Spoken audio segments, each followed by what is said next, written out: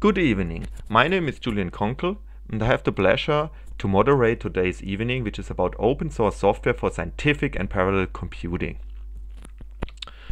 To briefly announce our future meetings of the open source specialist group, on Thursday, the 16th of July, we have an FPGA evening, which is really related because FPGA enable performance for a lot of applications. On Monday the 20th, we have a virtual meetup in London RISC about RISC-V processors.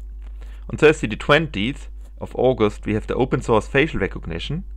And on Thursday the 17th of September, we have women in open source. So today I'll give a little introduction to this topic because a lot of our audience may not be familiar about scientific and parallel computing. This actually is my research topic at the Department of Computer Science in the University of Reading, where I look into storage and distributed computing. So to understand this topic further, we have to first understand the, the aspect of science, and in particular, how do you use the computer to do science? According to Wikipedia, computational science is meaning that we apply computer science and mathematics to understand and solve complex problems.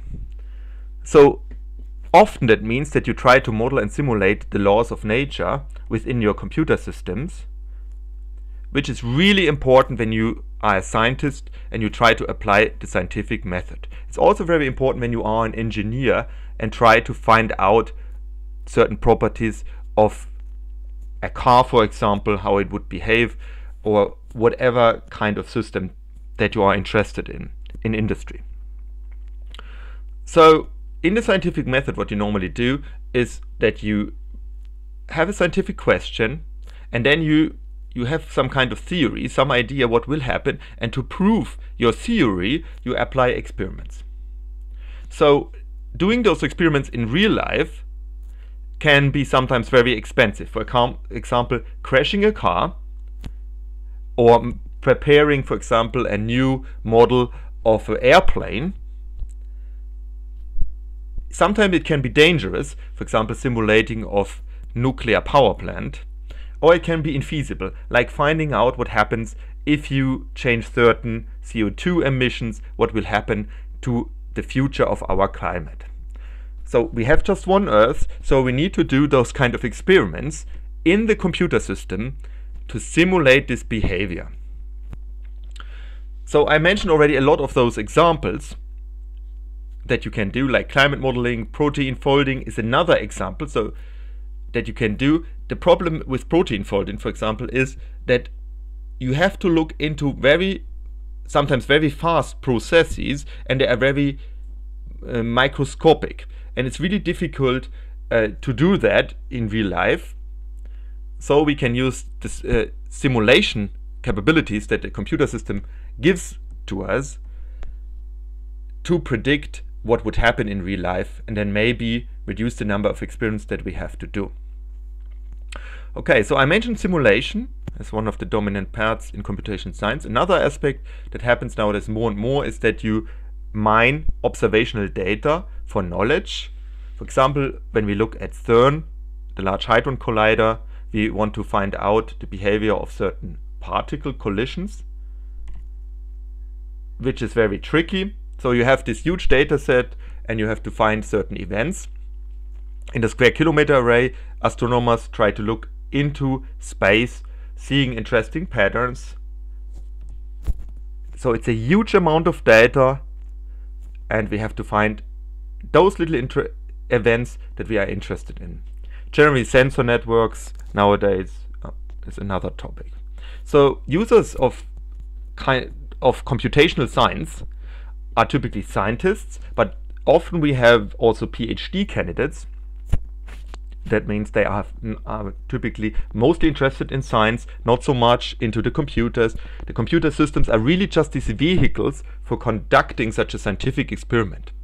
And if you look into industry, we have engineers that try to kind of push forward whatever device they are doing, like a car, may be on Okay, so now high performance computing, or in short HPC, is the field that provides massive compute resources for a computational task, like one of the simulations that I talked about. Typically, if you wouldn't be able to use a HPC system, if you try to run, for instance, like I mentioned here, the, a climate model, it it takes so much main memory that you can't run it, or it would take so much time for a single computer system that you would be not able to kind of do the simulation before actually you are interested in the event. Example is weather prediction. Well, if you would do the try to predict the weather of tomorrow, you can't wait 24 hours to get the answer of this prediction. You need to have it within an hour, for example. So HPC basically provides the compute power that is needed in computational science and scientific computing in general. So and the supercomputer is now this vehicle that aggregates the power of many compute devices together, like you see here in, a, in this picture, a lot of server systems, which means they are basically independent computer systems with microprocessors that then are connected with a very powerful network together. This then allows you to run an application that spans the whole supercomputer and try such a kind of experiment. Supercomputers are typically operated in the data centers and they are often uh, funded by the public because scientific breakthroughs um, is luckily supported by the governments. Here's a statistics, so some core information about the Oak Ridge Computer Oak Ridge National Labs Supercomputer Summit that you actually see an an image here on this picture. It consists of 4600 dual socket nodes, that means you have two microprocessors per server, and most importantly in this computer you have 6 GPUs per node, which means you can do a lot of computing in a single node even, and this amounts to 150 petaflops in terms of compute power on a, on a specific benchmark called LINPACK that is often run that shows the computational efficiency. So the experiments done by the scientists often needs a lot of storage capacity. So this machine has 200 petabytes of storage and non-volatile memory, additionally about 1.6 terabyte of each of these compute nodes. It also requires a lot of energy 13 megawatts to drive such a supercomputer and of course it's very costly to do so. So it's really a valuable resource to get some compute capabilities and use them for the simulation. So now how do we connect this topic of supercomputers to data centers and scientific computing with open source? Well, it's very easy. Actually, supercomputers often run with Linux. And the majority of software to manage supercomputers is open source. Often you find also some um, vendor solutions as alternatives, but there exists typically an alternative for each of these software that is open source.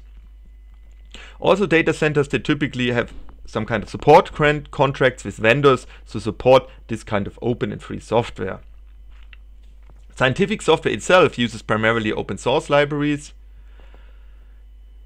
Scientific software often is open source. That means it, it's available on GitHub. Sometimes it may be restricted to scientists and have a more restricted license, but it's often um, also open source.